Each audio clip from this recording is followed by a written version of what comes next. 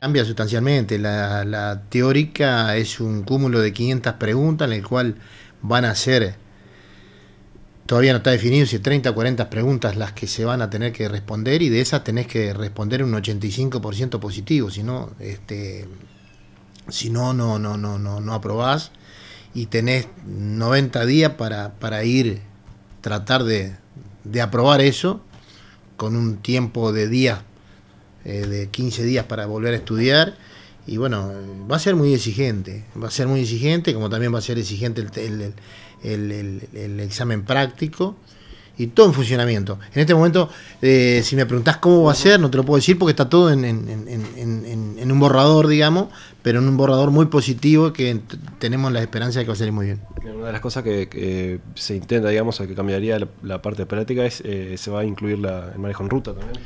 Eh, se está pensando en manejo en ruta, este, que sería muy, muy importante. Y bueno, eh, y también va a ser un, un cartón único porque hoy tenemos 19 cartoncitos distintos.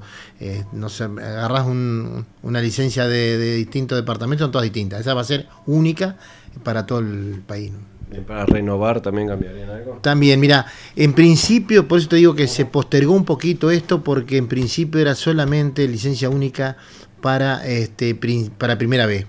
Pero ahora ya se va a hacer toda, toda la renovación. Eh, eh, duplicado, todo va a ser único. O sea que va a cambiar. Y una de las cosas que va a cambiar fundamentalmente y muy exigente es el examen médico. Eso sí, un examen médico muy, muy eficaz, que yo creo que también está muy bien.